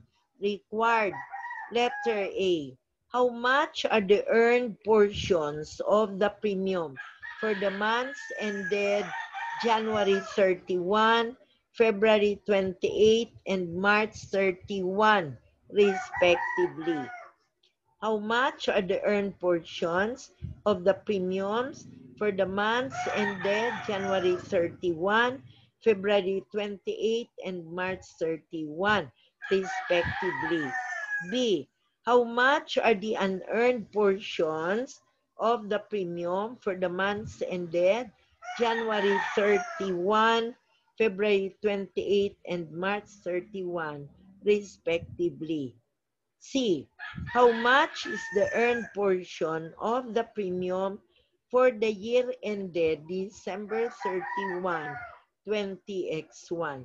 D. How much is the unearned portion of the premium for the year ended December 31. E. Provide for the journal entries on January 1 to recognize the gross premium and the adjusting entry on December 31 to recognize the adjustment to the gross premium. Now let's start with requirement 1 the earned portion of the premium for the months January 31, February 28, and March 31. Now, the gross premium, we create three columns, January 31, February 28, and March 31. These are the months in the first quarter of the year. So, we have now for the first quarter, January 31, February 28, and March 31. We multiply this by January 31, we multiply by 1 over 24, February 28 by 2 over 24, and for March 31 again by 2 over 24. So what do you get when you now uh, multiply 12,000 by 1 over 24? So the earned portion by January 31, 500, February 28, 1,000, and March 31, 1,000. So earned portion, January 31, 500. That's taken by the by multiplying 12,000 by 1 over 24. So earned portion, January 31, 500. February 28, 1,000. March 31, 1,000. Under the 24th method, it is assumed that the average date of issue of all policies during any month is the middle of that month. Therefore, in January, date of issue, one issues in the numerator equal to one half month. And uh, we have now uh, in the succeeding months, the numerator is 2 equal to the whole month. So we have now your answers in requirement A. In requirement B, for the unearned portion, for January 31, we have 23 over 24. February 28, we have 21 over 24. And for March 31, that's 19 over 24. So 19 over 24. The unearned portions by January 31 is 11,500. By February 28 is 10,500. And by March 31, 9,500.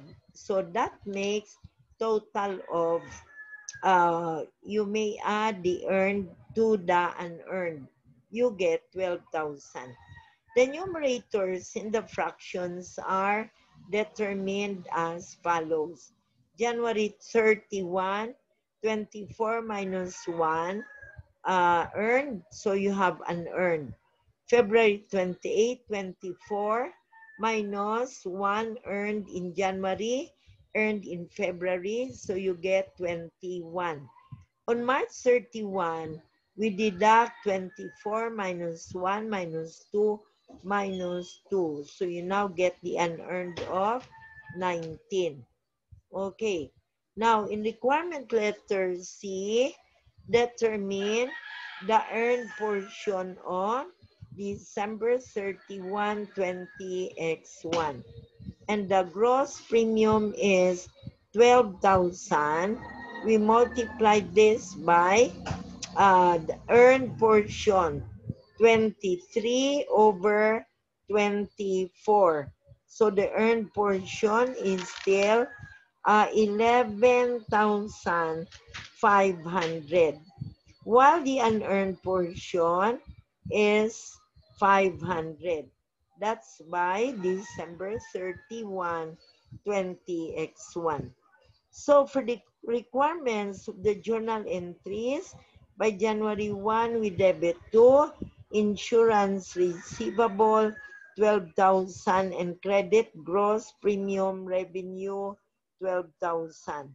On December 31, 20X1, we have the debit to change in provision for unearned premiums for 500 and credit provision for unearned premiums by 500. The change in provision for unearned premiums is recognized in profit or loss as an adjustment to gross premiums to compute for the earned portion. The provision for unearned premiums is presented in the statement of financial position as part of insurance contract liabilities. So gross premium earned will be disclosed in the notes as follows. Gross premiums written, 12,000. Then we have to deduct the change in provision.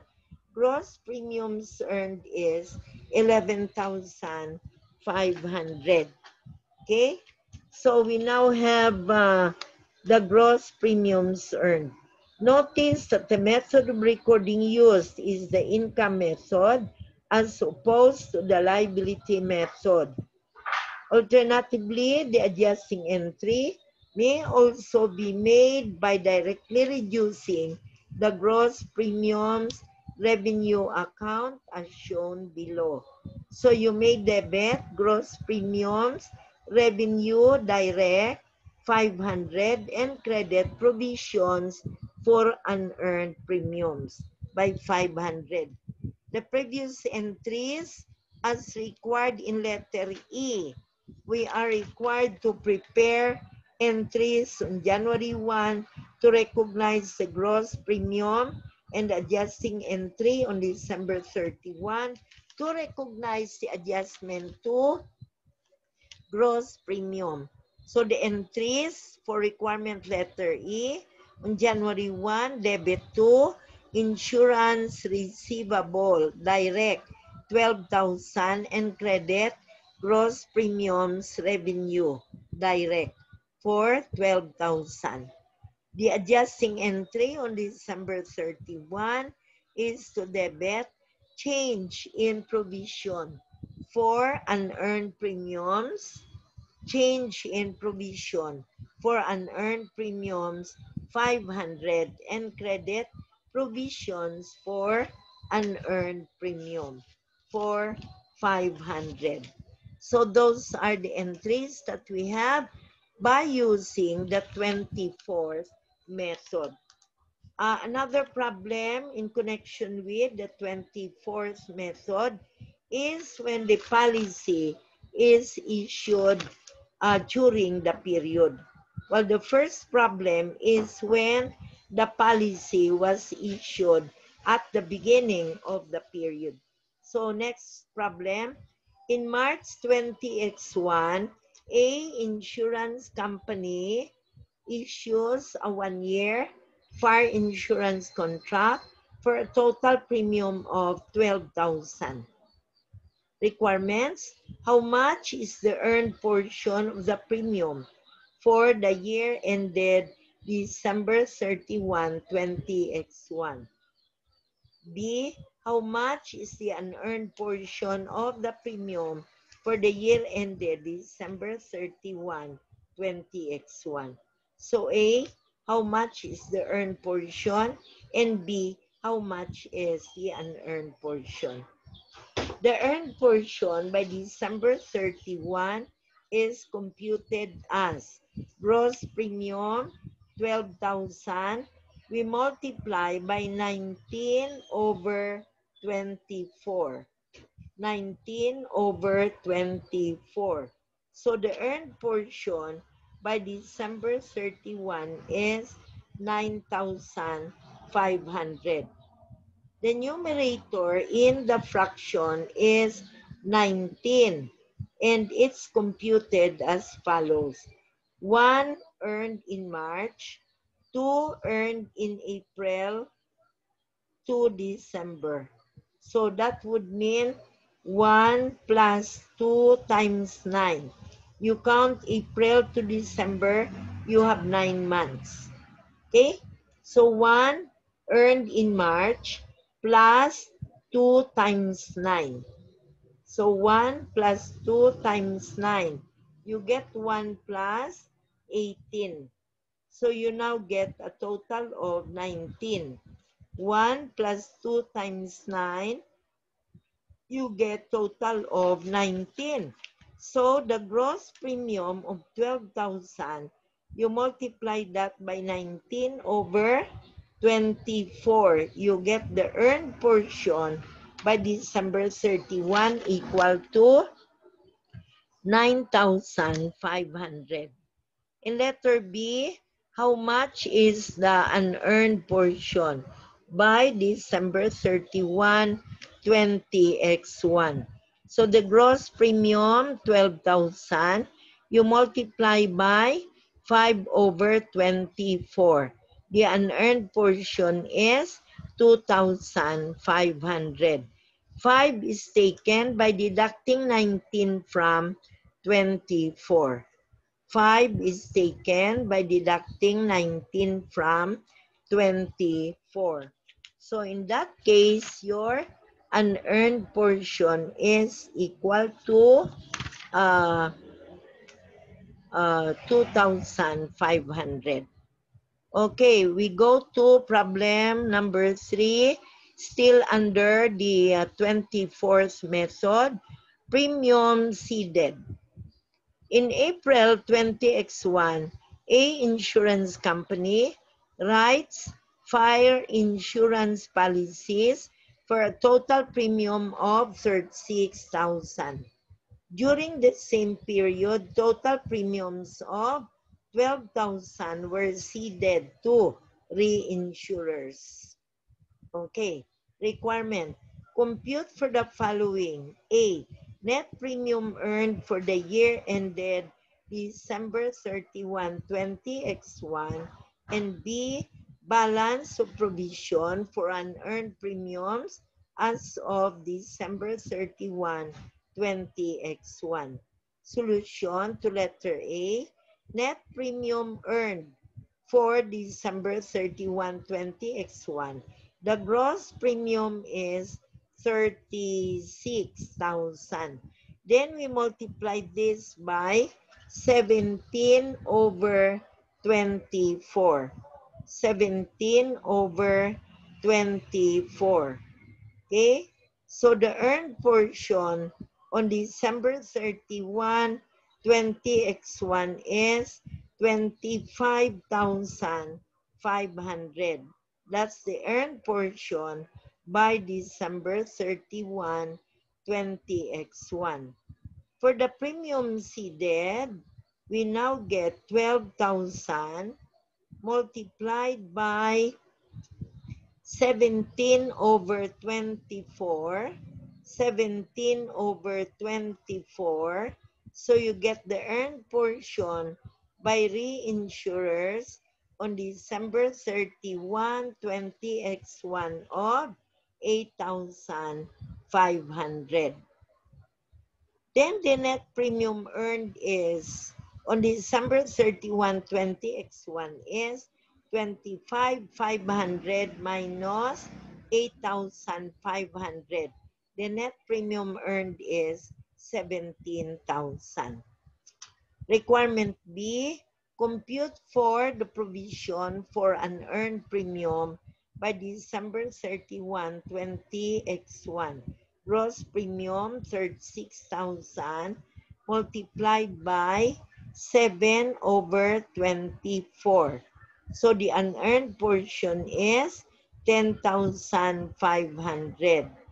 The premium ceded of 12,000 deduct or multiply 12,000 by 7 over 24. You get the unearned portion by the reinsurers equal to 3,500. Now, 3,500 deducted from 10,500, you get the difference of uh, 7,000. You get the difference of 7,000. Okay? So that's your uh, amounts to be considered as provision for unearned premiums. How did we get 17 over 24? That's taken by adding 1 plus the product of 2 times 8. 1 plus the product of 2 times 8, that will give you 17 months. So 17 over 24. Okay, so that's all for our insurance and for the solutions to the problems in chapter 22, uh, I will just post it sa canvas. So numbers 1 to 30 and then numbers 31 to uh, 51. Okay? So, God bless you on Monday. Uh, hoping that if we we can have the exam by 10.30. But if not, then I'll uh, uh, have it at 11. 11 up to 1.30. So, God bless us all. Record eh. Oo. Huh? Oo. Wala man. Wala? Hmm. Wala mo record? Ah, oo, record. Okay ba na? Imagine, kuan nga, kung nga discuss, 25